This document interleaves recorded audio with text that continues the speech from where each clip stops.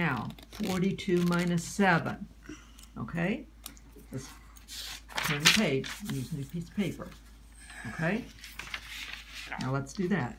42 minus 7. And I think we can't need the journal. We we just need to get some your house. Well, here, let's do the journal. Let's do the last one, and then you can quit. So, 42 minus 7.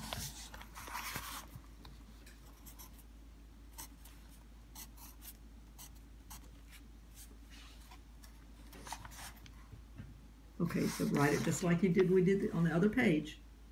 Remember how we did that? Yeah, let's help.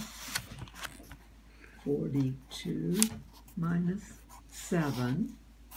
Okay, and the, the 2 is The less than are- 7, so So it's, it's 12. so, okay, so let's do it. 12 So, minus 7. okay, so let's write 12 minus 7.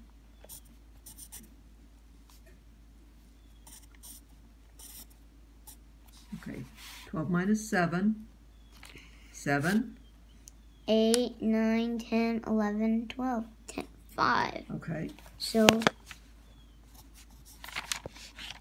5 is in the ones place. okay. And I think the 4 changes. It does, the 4 changes, because, why does the 4 change?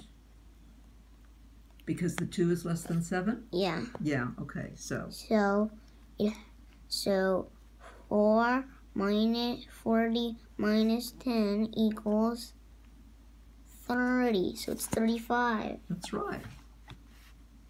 Are you learning to subtract? Mm-hmm.